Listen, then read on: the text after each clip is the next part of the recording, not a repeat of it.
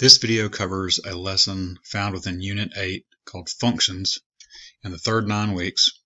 As we look down in the big pictures here for the third nine weeks, we can see that the lesson that we're going to actually do today is called Piecewise Functions, or covers piecewise functions, and it takes two days to complete. The actual lesson is called a piecewise function with a discontinuous domain, and you can see that they start off the lesson by giving you a graph of a piecewise function and also a table of values that includes most of the points that are found within that graph. Not all of them though. So what the first page of a problems asks the students to do, it asks for certain characteristics like the range of the domain where it's decreasing and constant. It even brings in concavity in number 9. Numbers 10 and 11 start asking for specific values of another function, uh, transformation function g, and it, it performs several transformations on the original function f that we were given the graph and the table for at the beginning of the lesson. It asks for where the maxes occur, the minimums, and it asks for what specific transformations are taking place. What I would like to do is work out number 12 it seems to be a little bit of a tougher problem for the students to work out. To make it easy, I want to bring in a snippet from the original problem.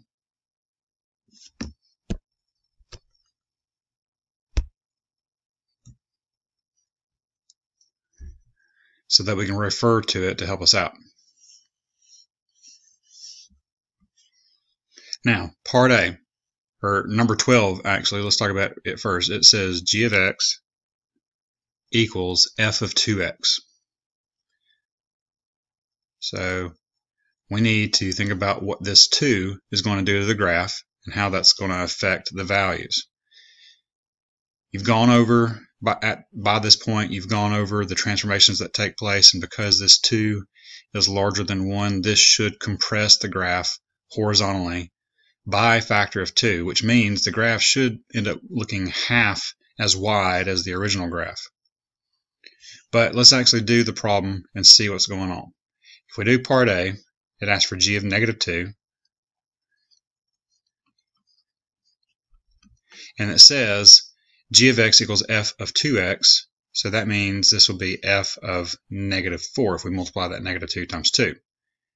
And then we have two options. We can either look at the graph at negative 4, and we can see that it goes up to 3, or we can use the table and see that at negative 4 it equals 3.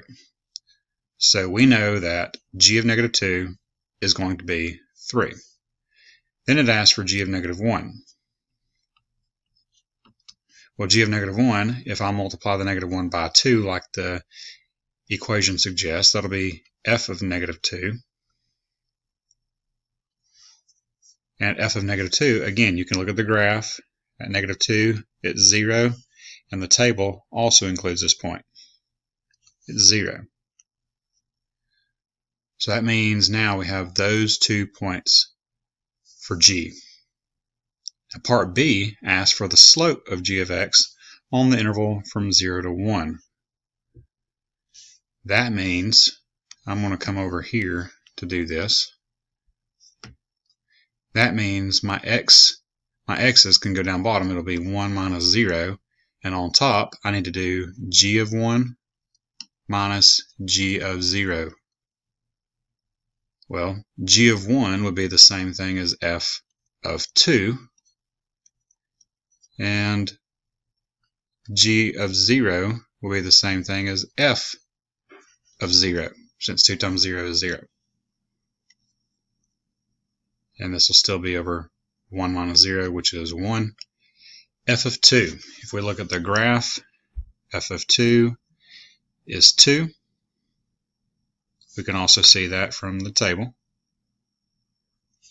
So I know f of 2 is 2 minus f of 0, again from the graph, it's 0 and notice the table does not include 0, so you have to be dependent upon the graph here. So f of 0 is 0. And all that's over 1 So that means the slope is 2. Then what we need to do is sketch the graph of g of x. This is where this transformation comes in, where this represents a horizontal compression. It squishes it horizontally, is what I tell the kids. And it basically makes it half as big. It's, it's compressing it by a factor of 2. So that means rather than having this point negative 6, negative 2, the x is only going to be half as big, so it'll be negative 3, negative 2. And then, rather than having negative 4, 3, it'll be negative 2, 3. So basically, all the x-coordinates are getting halved. Then, rather than having negative 3, 2, you're going to have negative 1.5, 2. So this ends up looking like that and then coming down like this.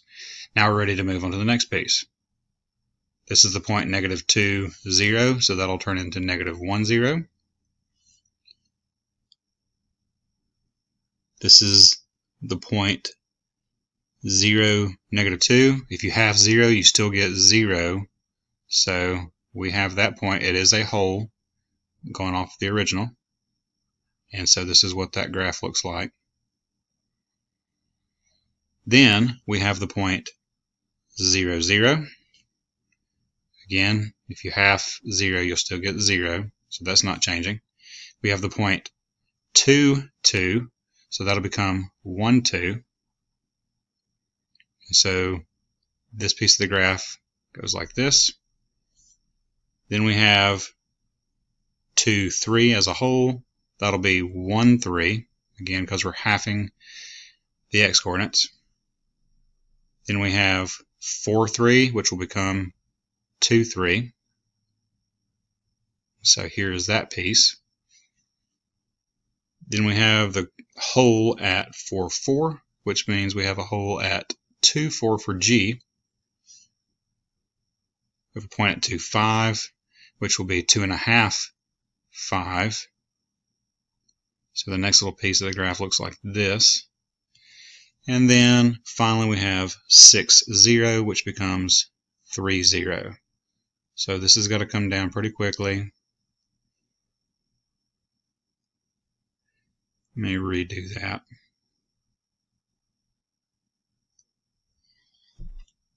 So that's what that graph ends up looking like. And you can tell from how careful we had to be graphing that, that this could be really tough for the students to do. So this may be one that you want to work out with the students just like I'm working it out with you.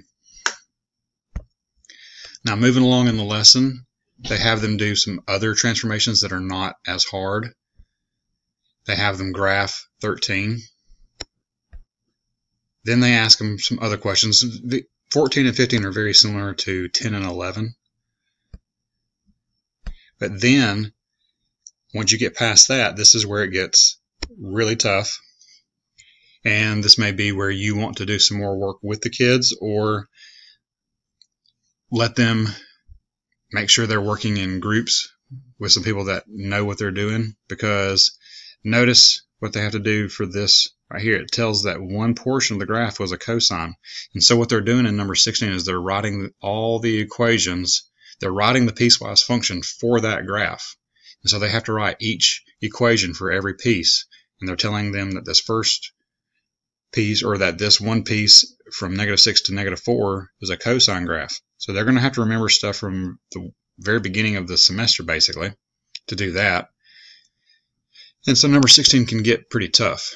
Then on number 17, it asks for the roots of the function, which means the equations have to be correct in number 16 in order to do number 17 correctly. Now, even though they may get all the equations for number 17 or 16 correct, you might still want to let them use their calculator to help find some of the roots for some of those functions that they that they come up with in 16. And then number 18 is they perform the transformation with the absolute value on the inside of the function and they need to know what transformation that does to the graph in order to be able to graph the function and look at part B.